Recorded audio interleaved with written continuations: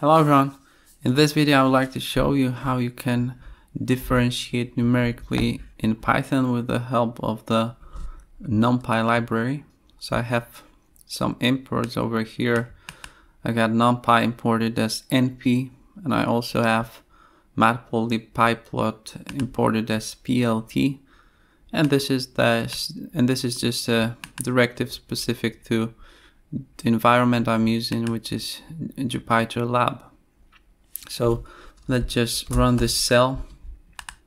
And over here, I have uh, my dx, which is um, the step size with respect to the, the x-axis, you would say, the horizontal axis. And also I have an array generated here uh, using the arange function. So it starts from 0 and the final value is 10 uh, but uh, I have to include uh, the dx here because otherwise it wouldn't include this upper bound here. And dx is the step that I'm using. And based on the x I then calculate y which in this case is just um, the sine function. So we should be getting the graph of the sine function so let's just run this. As we can see it's here. You could also use instead of arange you could uh, use something called linspace. Linspace. And then you would specify the uh, starting point the end point. In this case would be 10 and also you could specify the number of elements in total. So then you wouldn't have dx but in this case you could simply get it by subtracting let's say from the second value the the first value here.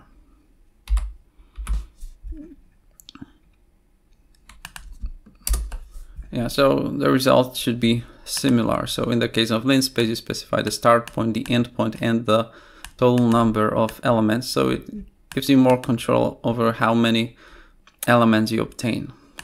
Okay, so this is the graph of the function. And what we do now, uh, maybe let's just remove this for, for now. Basically, uh, when we differentiate numerically, uh, the easiest thing we could do is to calculate the difference between the consecutive uh, elements of the array, of the input array. So this means you would have basically, uh, in this case, uh, y1 minus y0, then you would have y 2 minus y1 and then y3 minus y2 and so on and so forth. So as you can see, um, if we have, let's say, oh, let's check how many elements we have here. So if we have 101 elements here, then after this uh, numerical differentiation, we're going to have uh, only 100 because uh, there are only so many uh, you know finite differences between those consecutive values. And also divided by dx which is like the step along the x-axis. Of course if we were dealing with like um, you know time signals for example instead of dx we would probably have something like dt to signify that it happens within the realm of time so we would have dt here, right? Okay, so so here specified as t. So pretty much the same idea. Let's go back to dx. So we're focusing more on the shape rather than this time dimension. Okay, and since as you can see we get one x, uh, oh, we don't have as many elements as before after differentiation, And if we wanted to use the same array to plot our resulting data, we have to, you know, kind of make up for the element that we lost. So in this case, I have this helper function here called interpolate, which basically takes an array and it, you know, adjusts it to a specific number of elements by, for example, if, if it's supposed to be longer, then it adds some elements in between. So I'm not really going to focus on this uh, function as much, but that's the idea of what it's doing. So let's run this. We have this differentiation here as, and let's check how many uh, elements are there. As you can see, 100 elements.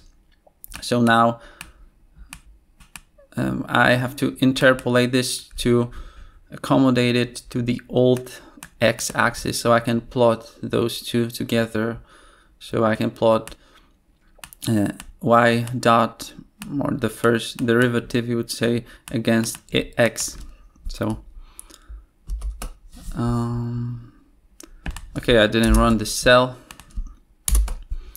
now it should work and as you can see you get the graph of the cosine function which would be what we normally expect in this case. but the nice thing about uh, numerical differentiation is that you're basically working on the set of input values. You don't really have to know what um, you know equation or uh, what formula describes the original function. So you don't really have to know uh, the original function in order to be able to differentiate numerically and you get like an approximation of the resulting function which in this case is cosine and of course if your um, step is you know small enough then any data loss is almost negligible in your case or it will be uh, very very small. So in this case we have 1000 values.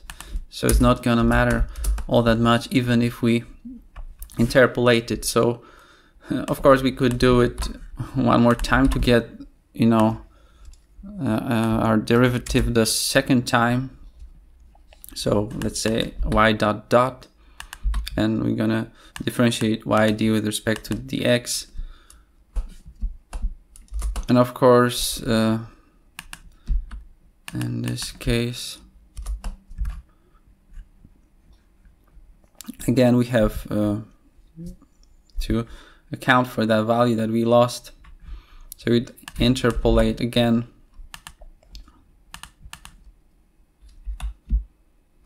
So let's do that over here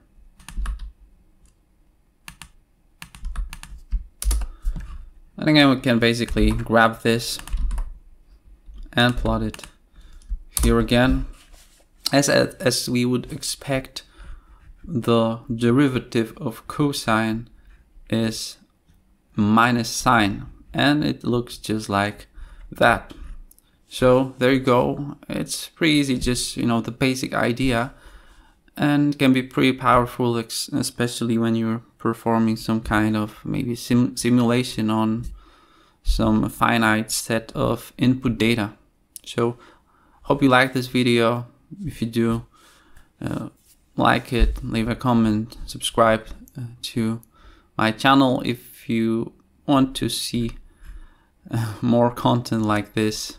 So that's all for now and hope to see you next time. Bye.